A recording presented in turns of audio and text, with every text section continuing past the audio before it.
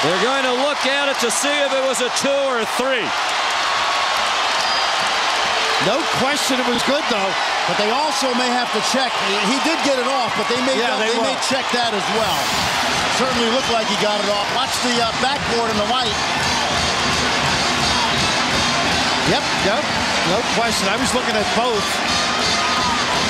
Nice inside-out pass. They pried a little bit. Samuels made a good decision. It would have been a three last year. Huh? Not this year. Extra fun. I don't think Rick Pitino cares right now whether it was two Oh, or no, three. you know, no. he just, he's glad they milked the clock and then this, the junior with the big jumper. And the ability of Samuels to be patient and kick it out. That's tough for a young guy. You might panic in that situation. Quick hitters now, Sean. Pittsburgh, 40 seconds to go, down by six. Can they retain their poise? Young, a deep three. Walk. Yep, that's the call as two Cardinals were there. Great effort by Samuels and Williams, but they walked. What's interesting now is even if Pitt scores, they're not a full court pressing team. Mm-hmm. So they're going to have to be really, really alert. And likely foul quickly. And the mediocre Louisville foul shooting team. Young missed the three. Whoa, looked out. Smith swinging arms. Trying to give it, they don't get it. Sosa juggles. Well, they need a foul. Yeah, And were- finally Fields does. I think they were trying. Look at these guys. oh, they were, I think they were trying on the rebound to give the foul. He got free. How about the perseverance? And Jamie, looking on, knows the reality setting in. No quitting these guys here. Sosa at the line. Two out of three today.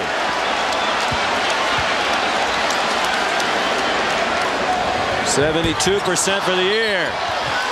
And not a good. Oh, oh, Huge oh, break for. Pittsburgh as Clark went over the back. Get up, We don't need it, Rick Pitino says. They go to the other end without the clock moving. Hey, John, I'm thinking of John Chaney used to move everybody out of there for that reason. Interesting. Mm-hmm. Oh, goodness, nothing moves. You know, I- Chance I- for two, you get your press set up.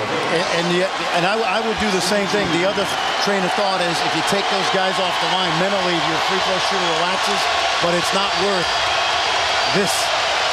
Two shots for Biggs. It's the double bonus.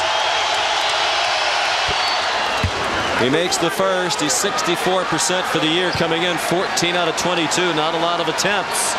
For the senior, first year starter. And like a typical Pittsburgh player, much improved. Uh, Jamie going small if he makes the free throw just to get more people in the press situation.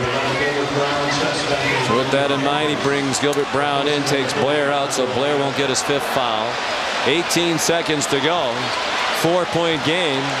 Louisville was celebrating a moment ago, hugging as if they had won the game. It is not over yet. Got to give the foul right on the catch. Yep. And they do. Samuels fouled, so he'll go to the other end. He's 70% for the year, entering the ball game.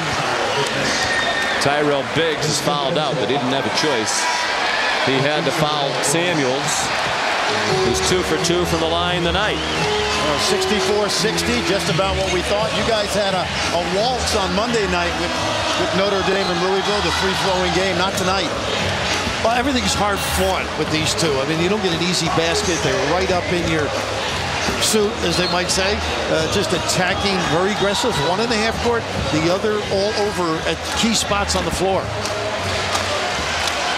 Pittsburgh's run atop the polls for the first time in their 101-year history in danger of ending, at least for now, after two weeks. They had risen to number two in the rankings 16 times over the years. Never number one until two weeks ago. In jeopardy now. But still 16.6 to go. Two shots for Samuels. Both teams in the double bonus.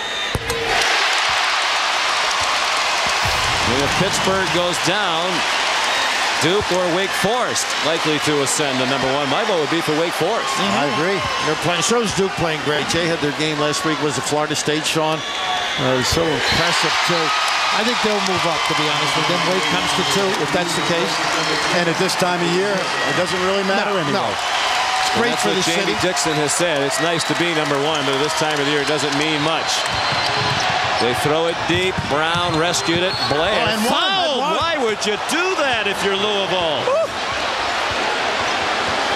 The pass itself almost was a turnover by Pitt.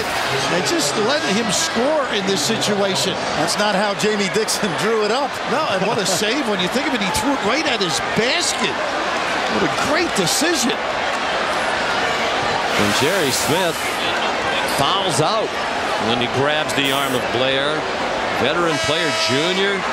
Wauwatosa, Wisconsin. He should know better than that. That is two terrible fouls by Louisville trying to protect the lead in the final seconds. One by Clark going for an offensive rebound and now by Smith when he should have just let Blair go. One possession game if he makes the free throw. Uh, get their pressure set up. I'm sure they'll take Blair out again if he's able to convert. And you got a couple guys on Louisville that are not great foul shooters. Williams about 61%. First free throw of the night. He has come in making 10 of his last 13 over the last two games. High Archer. And it is a one possession game. 14.6 to go. They'll take Blair out again with the four foul. Looks like a zone. They may try and trap once. Clark trying to get it in. Gets it to Sosa. Hit immediately by Wanamaker.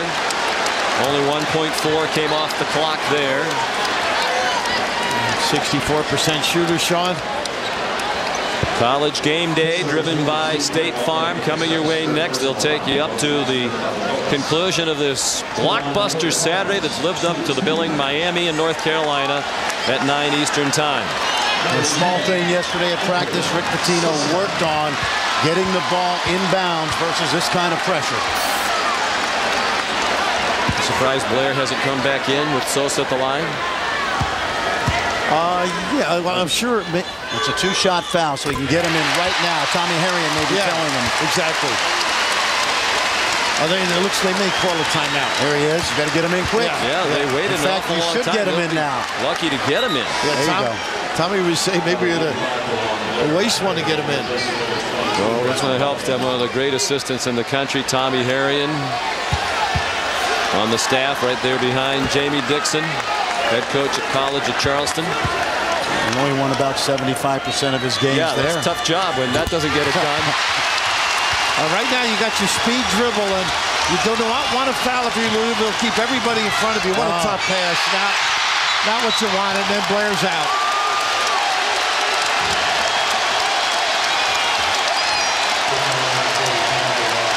So Blair fouls out. He had to commit the foul. Jamie Dixon looked at Sam Young and to say, of all the choices inbounding, why that one?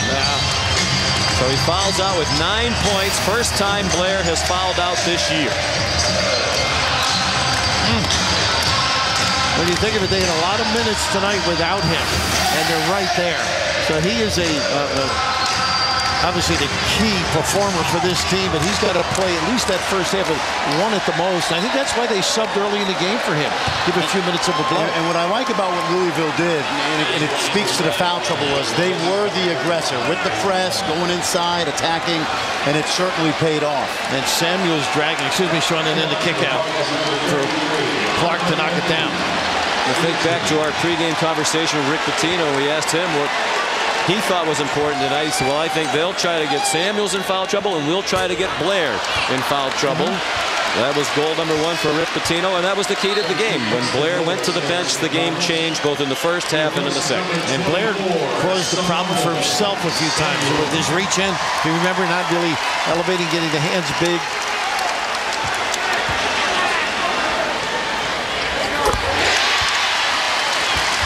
McGee the free throw, six-point game. Ten seconds to go. Fields deflected by Sosa. Williams got called for a travel with five to go.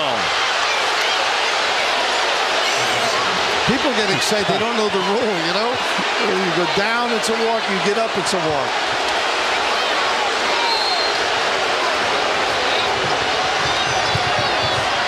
Young trying that pump fake again, fired it off the back of the basket. And we are down to one undefeated team in the country in Division One, and it is Wake Forest. And you got a Louisville team. Louisville has won five in a row, the last three over ranked opponents. Only Louisville and Marquette still undefeated now in Big East play. And Terrence Williams Great job. and his mates celebrate. Louisville's first win over a number one team since 2003. Pretty good, huh? Well, they executed the plan. They did. They absolutely did. I mean, they got them in a rush situation, had them cough it up. A lot of mistakes uh, in the half court by a terrific half court team, Pittsburgh, all because of defense. Final score Louisville 69, Pittsburgh 63. College Game Day presented by State Farm is coming up next. Now for Bill Raftery, Fran Fraschilla, Sean McDonough saying.